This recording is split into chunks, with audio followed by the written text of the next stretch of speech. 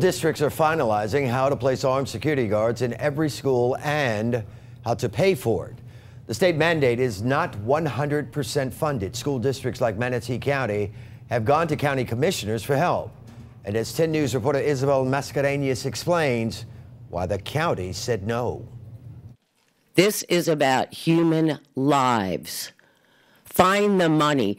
That's the message Manatee County commissioners heard from the public and school board members any given school day, 15% of Manatee County's citizens are in our school buildings between our children, our students, and our staff. Our goal is to ensure that our students are safe. It's a one year contract.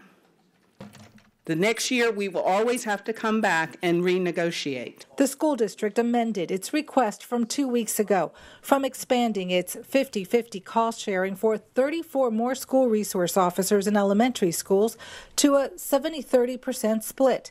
The county would pay $1.3 million for the next school year to help with the state's unfunded mandate.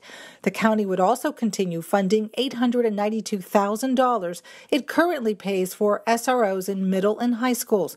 But the district's offer wasn't enough.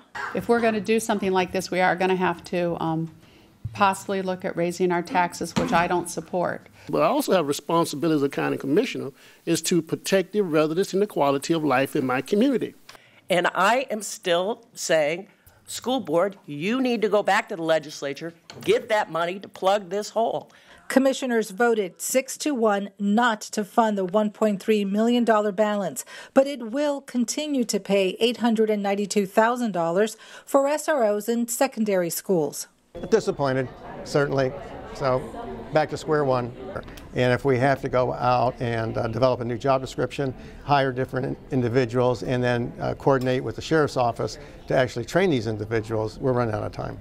In Manatee County, Isabel Mascarenas, 10 News.